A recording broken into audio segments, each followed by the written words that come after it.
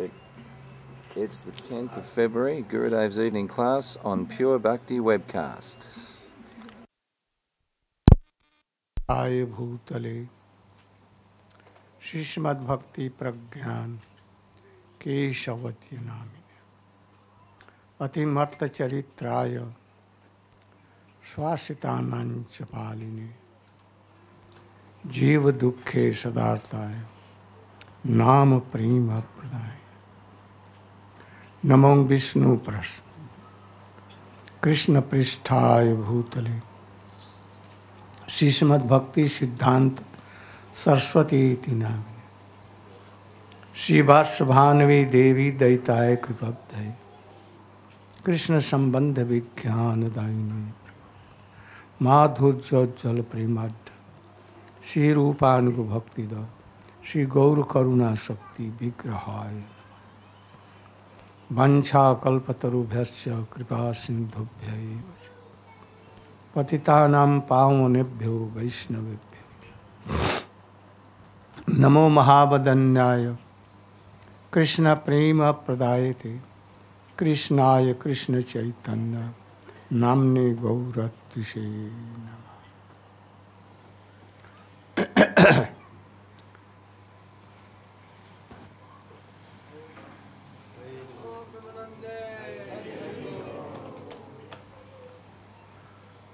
tomorrow, very auspicious day, the birth of Jagat Guru, Om Vishnu Pasismu Bhakti Siddhant Saraswati Goswami Prabhupada. And also, very auspicious that in this auspicious day, Srila Gaur Govinda Maharaj departed from this world. He was very fortunate to uh, to go from this world on this very day. You know all about Srila Prabhupada. Srila Bhaktivinoda Thakur, and he is the root of preaching in Western countries. He inspired Srila Bhakti Vedanta Swami Maharaj to preach in English language and Western devotees in whole world in English and to establish centers and to translate authentic books like Srimad Bhagavad Chaitanya Charitamrita and others. He was very qualified. So Prabhupada, Srila Bhakti Siddhanta Saraswati knew that he can do, fulfill my desire. So one of his arms, that is Srila Bhaktivedanta Swami Maharaj, he sent to western country and knew that how in couple of years he everywhere preached, established preaching centers and how he distributed books and engaged all, hmm, about millions of devotees in his mission. All were inspired. All used to know that, oh, the, our Gurudev oh, loves me more much than anyone. Hmm. His preaching and his all qualities are the really coming from Srila Bhakti Siddhanta Saraswati Goswami Thakur. Swami ji has adopted guru parampara from Brahma up to Srila Prabhupada but now some devotees thinking that we are very high class of devotee I want to glorify Srila Bhakti Vedanta Swami Maharaj by that we are still not Rupanuga but Prabhupada. This is cutting the feet of their Guru they own. We should not do. Rupanug is Guru, Rupanugavar. Anyone cannot take that place. He is Nitya Siddha, not Sadhak Siddha. and he is certainly the maid servant of Srimati Radhika. He had done Manovhist Purna So you know about him, Srila Prabhupada. How he gave, established a preaching center at Mayapur, how he collected so many devotees, and he started a mission, Gaudiya mission, or Gaudiya Mutt from Mayapur, Akar Mutt Raj Chaitanya Mutt. He introduced Ramanuj Tridanda Sannyas. He took himself. Because of that time, Babaji's all luxurious, very what, like nonsense, engaged in lust and everything. Yes. So Prabhupada changed the mood because all learning person, qualified person, they used to know that Gaudiya uh, Mahaprabhu followers are stupid nonsense, very lusty. Hmm. So, he established Akar Matraj Chaitanya Mat. He established in nine islands of Navadvip uh, one one centers. And then he went to Calcutta against the order of his Gurudev and established there preaching center. And he published so many books all Acharya's books, Ramanuj, Madhva, Vishnu, Swami, Nimbadit, Srimad Bhagavat, Chaitanya Charitamrita, all the books in the guidance of Srila Bhakti Vinod Thakur. Otherwise, all the books have been gone, ruined. So, he is the main root of preaching in all over world. He gave initiation to our Guru Gurudev. And he told oh, alone he can manage all these things. And really he was so qualified, our Guru Gurudev. Vinod will of all much and manage everything. So he also, in India, he preached his mission everywhere, in all pilgrim places and all important places of India and even he sent message, messenger like Bhakti Vedant, uh, Bhakti Ban Maharaj. And also Bhakti Sharanga Goswami Maharaj. Bhakti Pradip First he sent Pradip Tirtha Maharaj. They preached the mission unlimited. But Swamiji, he preached his mission unlimited. Why? They used to preach to very high, high persons like uh, to the general, Governor General of India and uh, in England, he, royal families, they never mixed with ordinary. And Swamiji boycott them. And he mixed with hippies, hippies and general persons, very simple person, low class of persons, like Nityananda Prabhu. So he mixed from there and he began to preach and all used to come join. But to whom Ban Maharaj and others had preached, none joined the movement. But he did miracle by the mercy of his Guru Gurudev. So it is all the glory of Srila Bhakti Siddhanta Saraswati Goswami.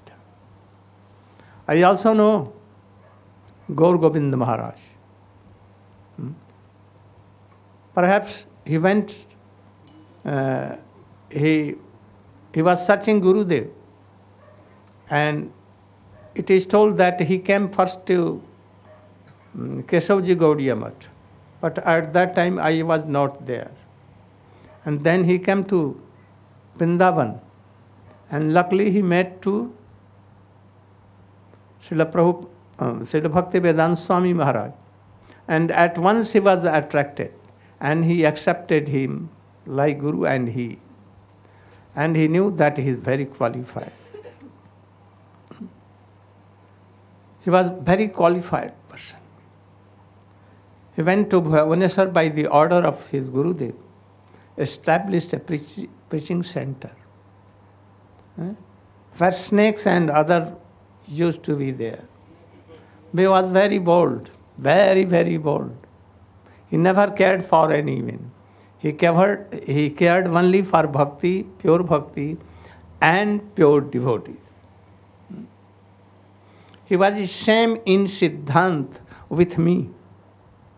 He used to collect my all books and used to read, read them very carefully.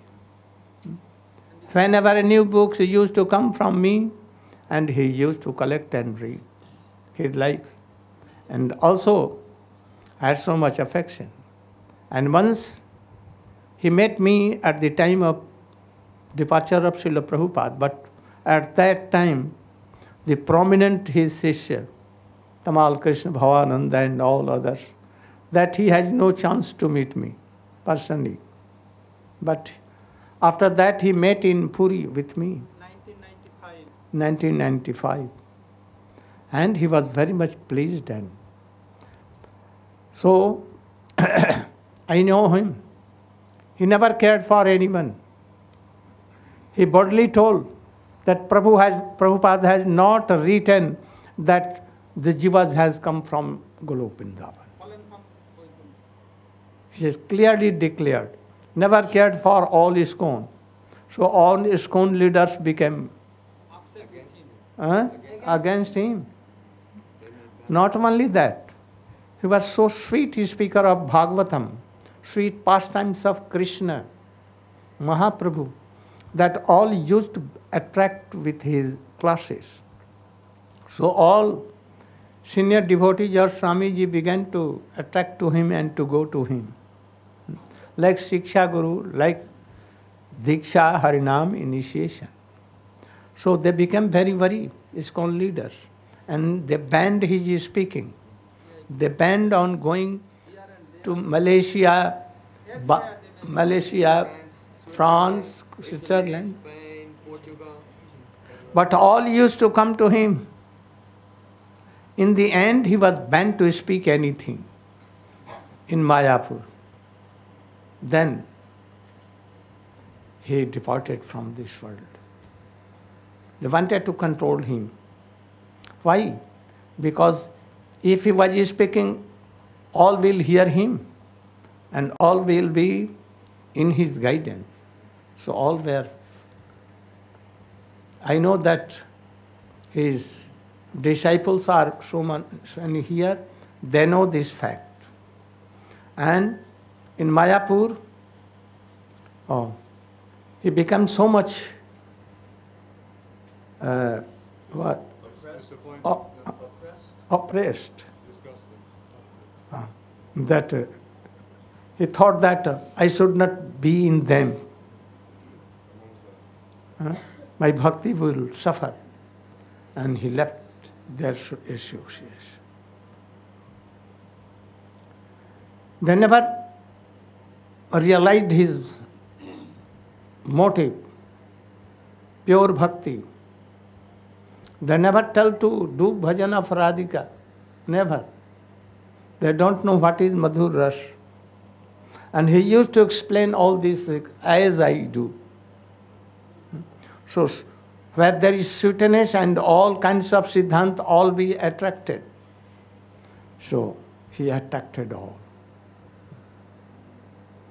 So, I think it will be better that some devotees will glorify first to Gaur Govind Maharaj. I know that uh, Prabhu, what next? Oh, he has served him. And he has also, and he has on his back some uh, some of his stick. Though he used to chastise the, his disciples and to give benediction by mercy by stick, like Abhiram Thakur. But all attracted even. Gokul. Where is Gokul? Have you taken his stick? Never. Many times. Many times. Mathuranath, where is Mathuranath? You know him? Have you eh, eaten his stick? Oh.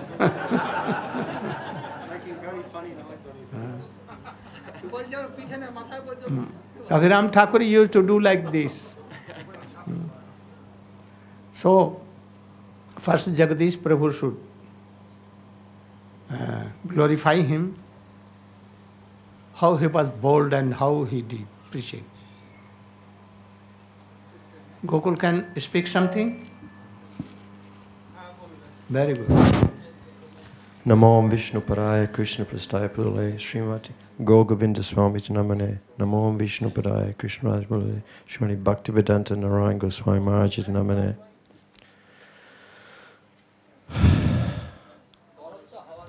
This one? Singer. Oh, you should be here. You will have to something. Sing. So today is a blessed appearance day of Jagat Guru Srila uh, Bhakti Siddhanta Saraswati Thakur Srila Prabhupada eh, tomorrow. But today we're celebrating them and also the disappearance day of my beloved Guru Dev Srila Gaur Govinda Swami.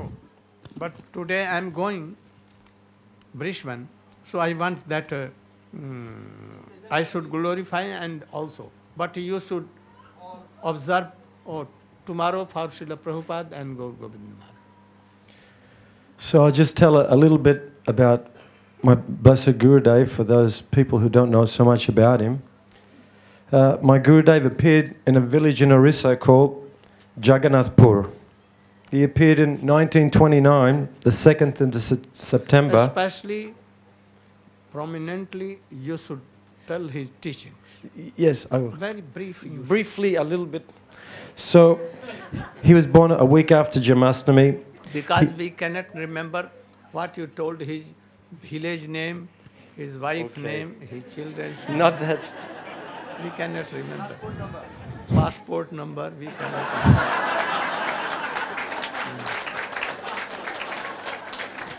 But I remember his beatings.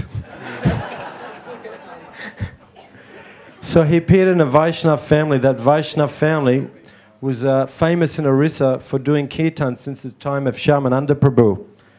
Uh, as a boy, he would recite Bhagavatam in Oriya, uh, written on palm leaf. At that time, they had no electricity. And uh, he would spend his time uh, making garlands for, for Gopal, doing 24 hour kirtans with his uncle, and learning all Vaishnav songs of Srila Narottam Das Thakur. Actually, when he was born, astrologer did his chart and told that this boy has come from Nitya Dham and he will be a, a very shining sadhu and he will preach the message of Chaitanya Mahaprabhu around the world to help the fallen conditioned souls. So, in, uh, he led a very pure lifestyle and uh, he was a teacher by trade. He, he was in the same school as Srila Bhaktivinoda Thakur, but later on he left household life and uh, he went in search of a guru who could give him all the things that he was reading about. So he left home and he finally ended up in Vrindavan and he saw a signboard and he saw Mahaprabhu and Krishna and he saw the Maha Mantra and he thought, this is what I've always wanted. Mahaprabhu and Krishna's teaching. So he went in there and he met Srila Prabhupada. And the first thing Srila Prabhupada said to him was, Have you taken sannyas? And he said, No. And he says, I will give you sannyas.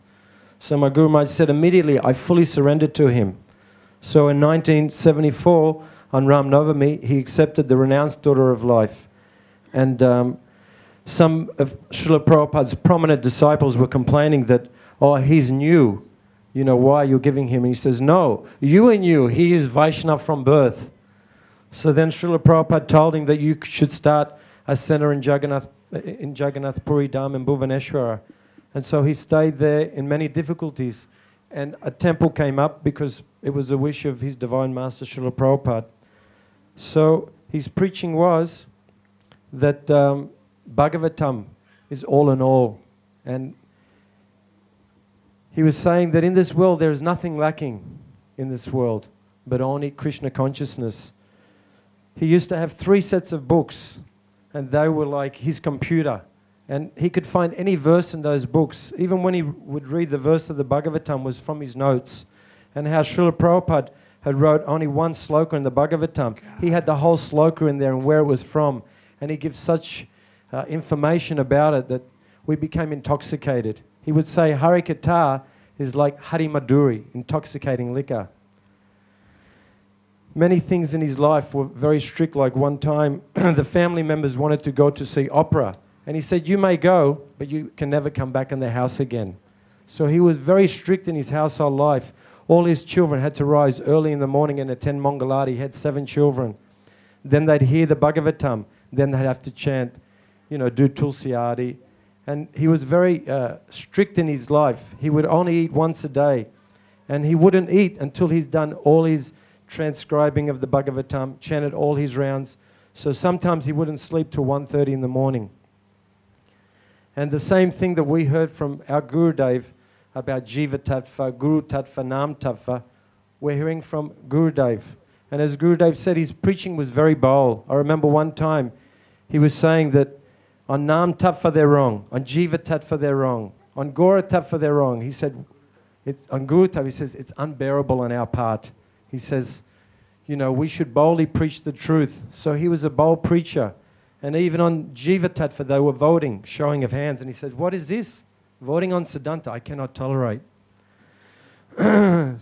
so many times he would give class and they would ask questions, but they'd have to remain numb when he'd answer, quoting many slokas. He would say, Unless you can quote a sloka, you're a cheater and no one will listen to you. And he used to say, Oh, he is a cheater. He's not quoting Siddhanta. So we were all attracted because of his purity and because of his simplicity. We, we, we hear from Gurudev how loving uh, the Guru is. And I remember while I was there, one disciple, he left the ashram. And that day, Gurudev, he cried and he could not take prashadam. He was very unhappy. So he was so loving to all the disciples. At the airport, when many people would travel with him, he would not only count his bag, he'd count everyone's bag and make sure everyone had prashadam. So we learned also love and affection from him, which is one thing to preach, but to have that personality to go what the scriptures say is, is something different. And we also hear that Guru and Krishna, they're beyond birth and death. They're not forced to take birth. They come here because of their own accord. And um, their bodies are not fat or skinny or blue eyes or black eyes. They're actually very beautiful, spiritual form.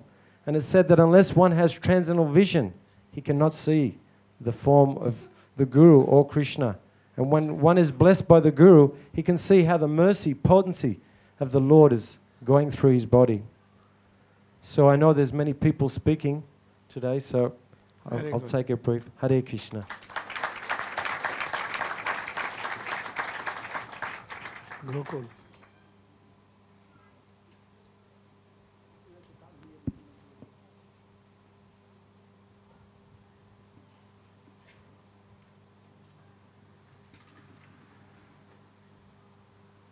Namo Vishnu Padaya Krishna Prasthad Bhutle Srimati Gaura Govinda Swami Namani Namo Vishnu Padaya Radhikai Pramane Shrimad Bhaktivedanta Rani Namo Om Gyanti Minandasya Gyananjana Shlakaya Chakshun Militam Jena Tasmai Sri Gurve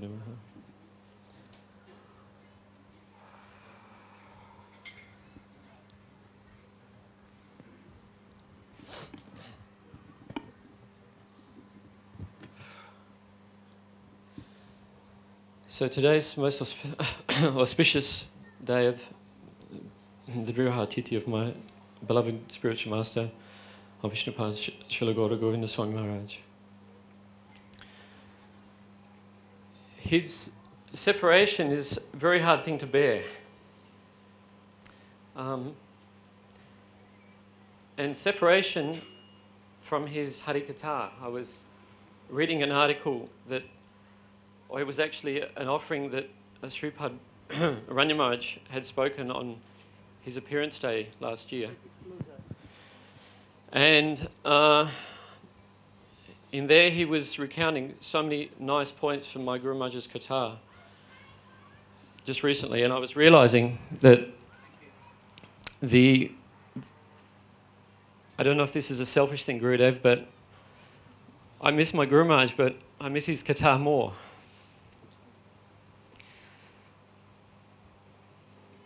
Um, his, he started a revolution. Why you not? He started a revolution. He did this by speaking very boldly Harikatha. And everything was contained in there. I was just remembering the last tour in Bali, he was there for seven days and he spoke for 36 hours on Harikatha. So his Harikatha was very, uh, very structured. He would begin by explaining very basic topics that we were not even human beings. We were Dvipadapashu. We were animals.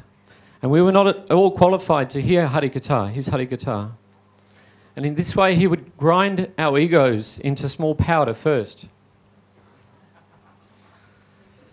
And after about one hour of grinding, then he would say, So then the topic comes. And then he would enter into topics of bhakti in very sweet and uh, with so much. He would, as Gurudev often says to us, come with me to Vrindavan. My Guru Maharaj would take us to Jagannath Puri with Mahaprabhu. And in his katha, we would see, we would see in our hearts all of that lila. Hmm. So,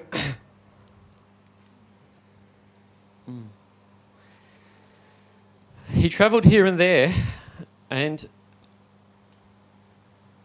one of the things that Aranya Maharaj was saying in his article that really uh, is one with my heart is that he extracted everything.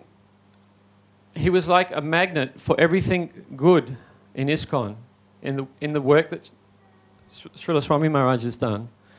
When I look around me, I see I'm never missing him because I'm seeing his mercy everywhere here he's poured buckets of mercy without uh, Bhakti Maharaj, Aranya Maharaj, Ashram Maharaj. They've all come from his mercy.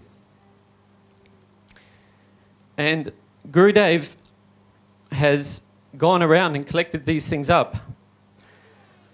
Our Gurudev Srila Maharaj. I remember I was with Gurudev in, in Los Angeles in 1996. One of my godbrothers rang